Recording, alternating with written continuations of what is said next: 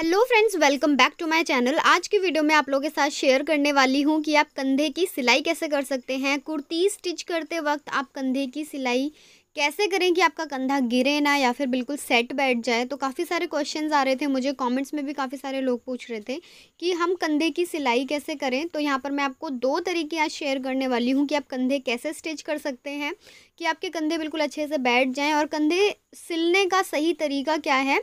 आज मैं आप, आपके साथ ये शेयर करने वाली हूँ। तो उसके लिए देखिए मैंने अपना ये फ्रंट वाला नेक बिल्कुल अच्छे से बना लिया है और ये नेक की वीडियो मैं जल्द से जल्द आप लोगों के साथ शेयर करूँगी कि मैंने ये कैसे बनाया है। बहुत ही सिंपल एंड ट्रेंडी सा नेक डिज़ाइन है जो कि आप अपने प्लेन सूट्स पर भी बना सकते हैं एज़ वेल एज़ किसी प्रिंटेड कपड़े पे भी बना सकते हैं।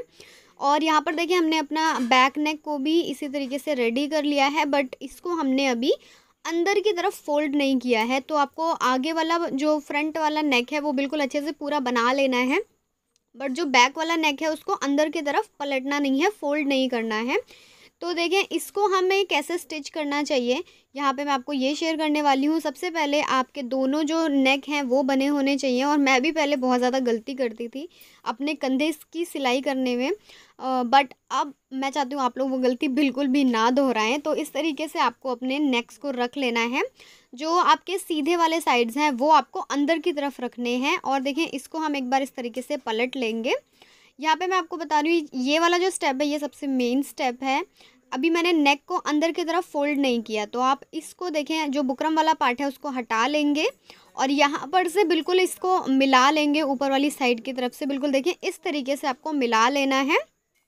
जहाँ पर हमारी बुकरम वाली सिलाई है, वहाँ पर आपको इसे मिला लेना है और इस तरीके से देखें, दोनों साइड्स को आगे वाली साइड से अगर आपका छोटा बड़ा भी है तो भी आ, कोई बात नहीं बट आपको बुकरम वाली साइड से नेक वाली साइड से बिल्कुल मिला के रखना है इसे। अब एक पैर का मार्जिन लेते हुए हमें यहाँ पर सिलाई लगानी है। तो देखिए यहाँ पर जो हम एक स्टेप करेंगे ये थोड़ा सा इंपॉर्टेंट स्टेप है तो आप इसको ज़रा ध्यान से देखिएगा।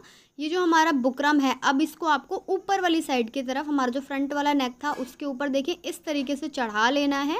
और जैसे आप एक पैर का मार्जिन लेते हुए सिलाई लगा रहे थे, बिल्कुल वैसे ही आपको सिलाई लगा लेनी है। तो यहाँ पे मैं फिर से एक बार दिखा दे रही हूँ आपको, इस तरीके से आपको अपना बैक वाला पल्ला, ऊपर वाले नेक के ऊपर चढ़ा लेना है और यहाँ पर एक पैर का मार्जिन लेते हुए सिलाई लगानी है। ये हमारा फ़र्स्ट मेथड है, जो कि बहुत ही ईजी है। अगर आप अपना फ्रंट नेक पे कोई अच्छा सा डिज़ाइन बना रहे हैं तो आप ये वाला कंधे को स्टिच कर सकते हैं। मैं यहाँ पर डबल सिलाई लगा रही हूँ, जिससे कि ये जो हमारी कंधे की सिलाई है वो पक्की हो जाए और इस तरीके से हमने अपने दोनों साइड्स पर देखें, सिलाई लगा ली है। अब इसको हम सीधा करेंगे। तो जब आप सीधा करेंगे तो आपका जो बैक वाला नेक है, वो देखें इस तरीके से फिनिशिंग के साथ आ जाएगा और आपका जो ये ये वाला जो पार्ट होता है, सिलाई का मार्जिन वाला पार्ट होता है, वो पीछे की साइड की तरफ़ आ जाएगा।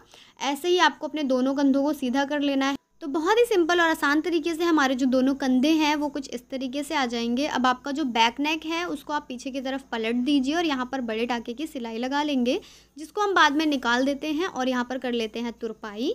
तो देखिए, जो हमारे कंधे हैं फ्रंट एंड बैक वाले साइड्स वो बिल्कुल बराबर आ रहे हैं। इस तरीके से आपके आने चाहिए और बहुत ही फिनिशिंग से हमारे जो कंधे हैं, वो स्टिच हो जाएँगे। अब इसके बाद में हम देखेंगे अपना सेकेंड मैथड इसके लिए देखिए, आपको आपका जो फ्रंट एंड जो बैक नेक है, वो बनाकर बिल्कुल आपको रेडी कर लेना है बट अभी आपको इसे पीछे की साइड की तरफ़ पलटना नहीं है फोल्ड नहीं करना। तो देखिए, हमने फ्रंट एंड बैक नेक दोनों बना लिए हैं, इसके नेक हमने बना लिए हैं बुकरम के साथ, पर अभी अंदर की तरफ़ फोल्ड नहीं किया है। तो अब देखिए इसको आपको कैसे सिलना है। आपको दोनों की साइड्स अंदर फोल्ड नहीं करनी है और इस तरीके से पहले दोनों सीधे साइड्स आपको ऊपर की तरफ़ रखने हैं और यहाँ पर एक पैर से भी कम मार्जिन लेते हुए आपको सिलाई लगानी है। और सिलाई देखिए जो आपका बुकरम वाला साइड है, उससे पहले पहले तक ही लगानी है। बुकरम तक आपको सिलाई नहीं लगानी, उससे पहले पहले ही आपको सिलाई लगानी है। अब दोनों साइड्स पर ये सिलाई हमने लगा ली है। अब देखिए कुर्ती को आपको उल्टा कर लेना है। इस तरीके से अब पहले हमने सीधे वाली साइड की तरफ़ सिलाई लगाई थी, अब आपको उल्टा करते हुए इसको सिलाई लगानी है। तो यहाँ पर हमने उल्टा कर लिया है, अब आप, पहले हमने बुकरम वाली साइड की तरफ़ सिलाई नहीं लगाई थी, पर अब आपको एक पैर का मार्जिन लेते हुए पूरा बुकरम तक आपको पूरा इसको स्टिच कर लेना है। ये देखें इस तरीके से। तो ये बहुत ही फिनिशिंग से आपका रेडी होगा और यहाँ पर कोई भी एक्स्ट्रा आपको इंटरलॉक की ज़रूरत नहीं पड़ेगी। बहुत ही फिनिशिंग से ये वाला जो मेथड है, ये काफ़ी ज़्यादा पसंद है मुझे। अगर मेरे को फ्रंट नेक पे कोई भी डिज़ाइन नहीं बनाना होता तो मैं हमेशा यही वाला मेथड ट्राई करती हूँ अपना कंधे को स्टिच करने के लिए।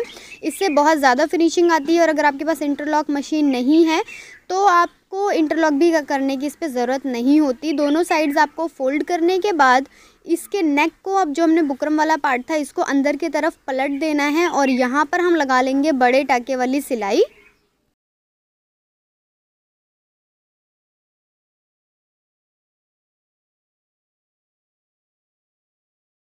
सो so गाइस पूरे नेक पर हमने ये सिलाई लगा ली है और ये वाला जो मेथड है, ये भी बहुत ज़्यादा फिनिशिंग वाला है। इसमें आपका जो भी कंधे वाला साइड है, वो आपको पीछे की साइड की तरफ़ रखना है।